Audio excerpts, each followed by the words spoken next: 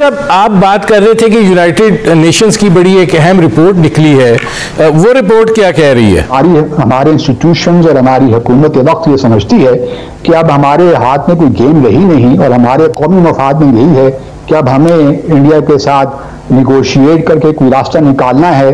अकवा मुतहदा करारदादों से बियॉन्ड आप नहीं समझते कि हमने भी जिस तरीके से डिप्लोमेसी कंडक्ट की है, वो भी गैर जिम्मेदाराना तरीके से की है। और फिर तीसरा ऑब्वियसली भारत के साथ भी वो चाहते हैं कि आप मिलकर चाइना को काउंटर करें। शुरू में ही जो है, हमें शायद फैसला करना चाहिए था कि हम एक आज़ाद फॉरन पॉलिसी की तरफ़ जाते।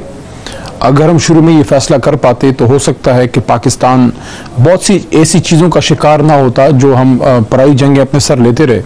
क्या किसी ताकतवर मुल्क ने वहाँ से डायरेक्ट यहाँ के एम्बेसडर ने कन्वे किया है हमारे फॉरेन ऑफ़िस को, या प्राइम मिनिस्टर ऑफ़ पाकिस्तान को, या क्या हमारे एम्बेसडर जो अब्रॉड हैं, जिस मुल्क से आया, उसको वहाँ ये मैसेज दिया गया कि आप अपनी हुकूमत को ये कन्वे करें?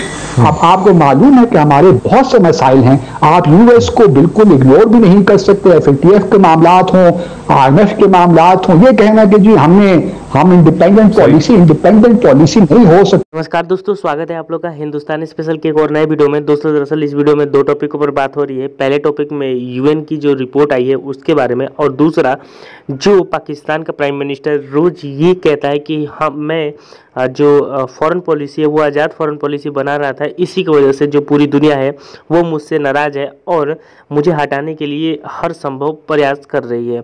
लेकिन दोस्तों, आपको पता होगा कि जिस तरीके से जो अमेरिका है, उसके चंगुल में पाकिस्तान फंसा है, वहाँ से पाकिस्तान कभी निकल ही नहीं सकता। क्योंकि जिस प्रकार से एफ़ ए और इन सब बड़े बड़े संस्थाओं के बीच में जिस प्रकार से पाकिस्तान फंसा है वो ये बात जानता है कि वो वहाँ से निकल नहीं सकता। लेकिन फिर भी पाकिस्तान का प्राइम मिनिस्टर रोज़ ये बातें किया करता था कि इमरान जो अमेरिका है वो बुरा है। इमरान ने ये बात बहुत बार कहा है और इसी की वजह से जो अमेरिका है वो नाखुश भी है। लेकिन जिस प्रकार से पाकिस्तानी मीडिया जो ये बात कर रही है कि इसके पीछे अमेरिका का हाथ है और सबसे बड़ी बात यहाँ पर ये भी बात हो रही है कि अमेरिका जो है वो ये चाहता है कि चाइना के साथ सॉरी जो इंडिया के साथ उसके रिलेशन अच्छे हों और ये दोनों लोग मिलकर चाइना को काउंटर करे। दोस्तों, ये बहुत बड़ी कहीं ना कहीं न्यूज़ है। दूसरी सबसे बड़ी आई है कि जो यूएन की रिपोर्ट आई है, उसने कहीं ना कहीं पाकिस्तान की पोल खोल दी है कि आने वाले दिनों में जो पाकिस्तान के हालात हैं, वो श्रीलंका के जैसे होने वाले हैं और कहीं ना कहीं श्रीलंका के जैसे हालात पाकिस्तान के हो भी चुके हैं। तो चलिए वीडियो में आगे बढ़ते हैं देखते हैं पाकिस्तानी मीडिया और इन सब चीज़ों पर क्या बात कर रही है। हमने एक जिम्मेदार आदमी और मुल्क का सबसे जिम्मेदार आदमी होता है मुल्क का वज़ीर आज़म और जो ये फरमा भी रहे कि मैं ज़्यादा डिटेल में नहीं जा सकता, ना मैं किसी मुल्क का नाम लूँगा और हमें भी पाबंद किया है कि अगर हम इसको बहुत ओपन कर देते हैं, कल इसको हम पब्लिक कर देते हैं तो हमें तो बहुत ज़बरदस्त फ़ायदा है पोजिशन डिमोलिश हो जाएगी। लेकिन उनका ये कहना था कि इससे मेरे मुल्क को नुकसान होगा, मैं अपनी सियासत के लिए मुल्क का नुकसान नहीं चाहता। इस वजह से हमें पाबंद किया है कि कोई किसी मुल्क का भी नाम नहीं रहेगा, सिर्फ़ एक लेटर या मरासले की बात है।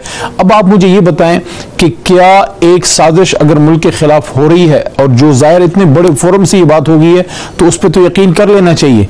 और खान साहब ने ये भी वजी साहब ने बात की है कि अगर किसी ने उसको जानना है तो ऑफ़ द रिकॉर्ड उसको देख सकता है। इसका मतलब यह है कि अगर मोहतरम शहबाज शरीफ साहब या कोई भी अपोजिशन का लीडर चाहता है कि मुझे दिखाएँ तो खान साहब की तो ऑफ़र वहाँ पर मौजूद है एक जिम्मेदार आदमी और मुल्क का सबसे जिम्मेदार आदमी होता है मुल्क का वज़ीर आज़म और जो ये फरमा भी रहे कि मैं ज़्यादा डिटेल में नहीं जा सकता, ना मैं किसी मुल्क का नाम लूँगा और हमें भी पाबंद किया है कि अगर हम इसको बहुत ओपन कर देते हैं, कल इसको हम पब्लिक कर देते हैं तो हमें तो बहुत ज़बरदस्त फ़ायदा है पोजिशन डिमोलिश हो जाएगी। लेकिन उनका ये कहना था कि इससे मेरे मुल्क को नुकसान होगा, मैं अपनी सियासत के लिए मुल्क का नुकसान नहीं चाहता।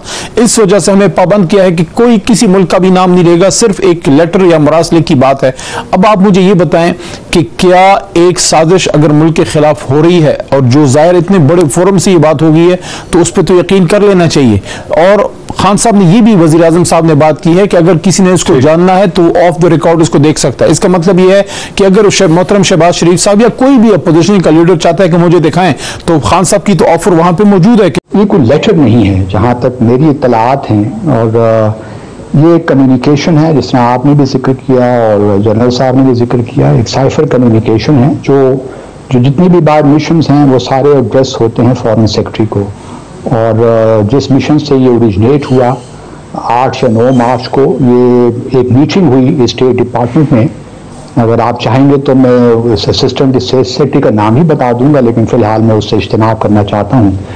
और उन्होंने नहीं नहीं ना आप ना बताएँ आप ना बताएँ। जिस चीज़ पे हमें कहा गया है कि ना करें आप ना जाएँ उसमें हाँ। आप उसी पे रहें हाँ, जो जी आप हाँ। जो हम पब्लिकली बात कर सकते हैं।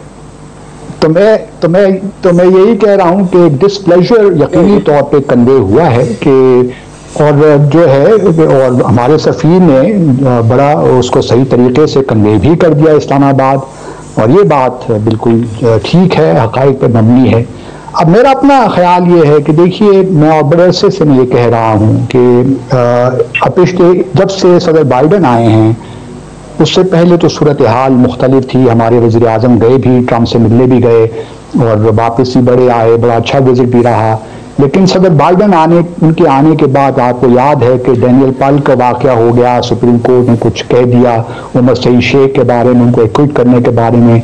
उसके बाद अफ़गानिस्तान के कॉन्टेक्स्ट में जहाँ तक बेसिस की बात हुई, मेरे इल्म में है कि बेसिस मांगे गए थे। लेकिन हमने इन तमाम मामला को, चाहे अफ़गानिस्तान का मामला हों, चाहे बेसिस के मामला हों, हमने उनको पब्लिक डोमेन में लेकर आ गए।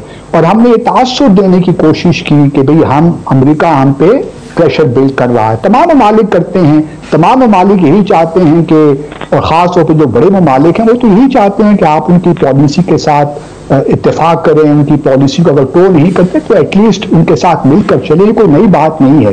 अमेरिका पहले भी करता रहा है और आज भी करता है और कल भी करता रहेगा। लेकिन क्वेश्चन यही है कि क्या हाँ, हमारी जानब से आप नहीं समझते कि हमने भी जिस तरीके से डिप्लोमेसी कंडक्ट की है, वो भी गैर जिम्मेदाराना तरीके से की है।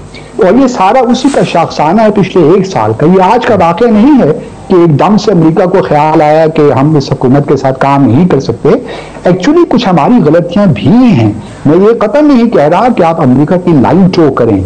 मैं ये कह रहा हूँ कि आपने जो कुछ भी करना है, आप उसको पब्लिक डोमेन में लेकर ना। कुछ बड़े सेंसिटिव इश्यूज़ होते हैं, जिनको आप पब्लिक डोमेन में नहीं ला सकते मुझे यूँ लगता है कि शायद इस हुकूमत को मुझे नहीं मालूम मैं पार्टीजन भी नहीं हूँ ना मैं ये मुझे लगता है कि शायद वज़ीर आज़म को इस बात का एहसास हो गया है कि आप ये तहरीक शायद कामयाब हो जाएगी, जिसकी वजह से उनके हाथ में एक नैरेटिव है और वो इलेक्शन में जाने से पहले ये बात कहेंगे। आप बात कर रहे थे कि यूनाइटेड नेशंस की बड़ी एक अहम रिपोर्ट निकली है। वो रिपोर्ट क्या कह रही है?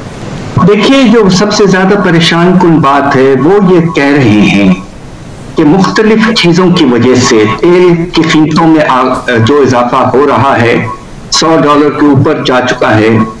दूसरी तरफ़ जो मुल्क गंदम इंपोर्ट करते हैं, उनको बड़े मुश्किल होने वाले हैं, जिसमें पाकिस्तान है, जो तकरीबन 90 फ़ीसद अपनी गंदम की इंपोर्ट रशिया और यूक्रेन से करता रहा है, और अब बहुत दिक्कत होगी। इस तरह के जो असरात हो रहे हैं जंग के, उन्होंने ये कहा है कि इस दुनिया में पाँच मुल्क ऐसे हैं जो सबसे ज़्यादा मुतासर होंगे। उनके नाम ये हैं इजिप्ट तुर्की श्रीलंका मंगोलिया और पाकिस्तान। और खतरा यह है कि अगर ये सिलसिला मुश्किल कर रहे तो तिजारती खसारा में नुमाया तौर पर इजाफा, कीमतों में बेतहाशा इजाफा, और ये पाँच मुल्क अगर उनको कोई सपोर्ट नहीं मिलती है दुनिया से, खासतौर पर डेट रिलीफ की तो ये बहुत सख्त फाइनेंशियल डिफिकल्टीज में जा सकते हैं। आपने श्रीलंका का ज़िक्र कर दिया है। श्रीलंका का ये हाल है कि उन्होंने पिछले दो साल से गाड़ियों की इंपोर्ट नहीं की, मगर आज पोजीशन ये है कि तेल नहीं है उनके पास। और इंपोर्ट्स बिल्कुल रुक चुके हैं और उन्होंने हिंदुस्तान से पहले एक अरब डॉलर लिया था और अब एक और अरब डॉलर ले रहे हैं। वो तकरीबन दिवालिया के करीब आ चुके। तो ये पाँच मुल्क हैं जो मुश्किल में जा सकते हैं और अफसोस की बात यह है, इसमें पाकिस्तान को शामिल किया गया। गए प्राइम मिनिस्टर ऑफ़ पाकिस्तान को तो उस तरह की सीक्रेट ये बासित साहब बेहतर इस पर रोशनी डाल सकेंगे कि वहाँ पे दो तीन तरह के कम्युनिकेशन होते हैं। एक होता है non circulation no circulation document भी होता है, जो अपना एम्बेसडर अपनी हुकूमत वक्त को थ्रू फॉरेन ऑफ़िस भेजता है कि ये इतला है और ये नो सर्कुलेशन है। तो वो इस तरह की चीज़ जो है, वो न पार्लियामेंट में ले जाई जाती है, न कुछ। It is for eyes only लेकिन उसको स्टेट पॉलिसी में उसको इनकॉर्पोरेट कर लिया जाता है और सेफ़ गार्ड ज़रूर लिए जाते हैं। तो एक तो मैं ये बात कर रहा हूँ कि ये बिल्कुल बात हवा में नहीं होगी। यकीनन जब प्राइम मिनिस्टर ऑफ़ पाकिस्तान कह रहे हैं तो इसका वजूद है ऐसा होना मुमकिन है। ताकतवर ममालिक इस तरह की थ्रेट्स दिया करते हैं। लेकिन जब तक उसके कंटेंट मुझे न पता हो, ये कहना बहुत मुश्किल है कि किसके खिलाफ प्रोसीड करना चाहिए, कैसे प्रोसीड करना चाहिए। और अगर vote of no confidence defeat हो जाती है तो उस सूरत में ये एक थ्रेट है जो आई है। अब क्या ये एक स्टेट की तरफ़ से आई है? या क्या वहाँ कोई होने वाली मंसूबाबंदी है जिसको हमारा इंटेलिजेंस ने इंटरसेप्ट किया है वहाँ और उन्होंने कन्वे किया है? हमारे हाई कमिश्नर को जिन्होंने मुल्क में भेजा है तो जब तक ये पूरी चेन का ना पता हो पूरे लेटर के कंटेंट का ना पता हो तो मैं इस की क्या साराई हवा में नहीं करना चाहूँगा कि आप इसको फ्ला फोरम पर ले जाएँ। लेकिन जब तीन most powerful people in the country prime minister of Pakistan chief of army staff and chief justice of Pakistan, इनके साथ जो इंफॉर्मेशन अगर शेयर की जा सकती है तो ये बिल्कुल यकीनन हवा में नहीं है। ये बहुत मेरे हिसाब से अगर आप पूछें तो मैं अगर उनका एडवाइजर होता तो कभी उनको ये ना कहता कि आप ये पब्लिक में लेकर जाइए। अगर आपने करना था तो नेशनल सिक्योरिटी कमेटी है, वहाँ पे आप डिस्कस कर सकते हैं।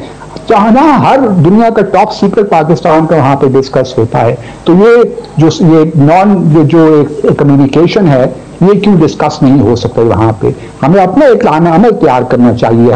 हाँ अमेरिका हो यूके हो तो कहेंगे कि आप हमारी लाइन शो करें हमारे साथ आप इतफाक करें? लेकिन ज़रूरी नहीं है कि हम उनकी बात माने लेकिन एक डिसेंट डिप्लोमेटिक तरीका भी होता है बात करने का। अब ये जो पब्लिक में रैली में प्राइम मिनिस्टर ने डिस्कस किया है अपने आप को बंद गली में डाल दिया है बदकिस्मती के साथ और मुल्क को बंद गली में डाल दिया है मेरे हिसाब से। डिप्लोमेसी में आप अपने लिए स्पेस क्रिएट करते हैं। अब आपको मालूम है कि हमारे बहुत से मसाइल हैं। आप यूएस को बिल्कुल इग्नोर भी नहीं कर सकते। एफ़ के मामला हों आईएमएफ के मामला हों ये कहना कि जी हमने हम इंडिपेंडेंट पॉलिसी इंडिपेंडेंट पॉलिसी नहीं हो सकती। आपके मुझे ब्रेक लेने दीजिए। बहुत अच्छा आपने समझाया कि हर चीज़ जो है उसे पब्लिक पॉलिटिक्स का हिस्सा जो है वो नहीं बनाया जा सकता और बड़ी ताकतों के साथ पाकिस्तान जैसे ममालिक के मुश्किल मरहले जो है वो आते रहते हैं। उन्हें और तरह से रिजॉल्व करना होता है।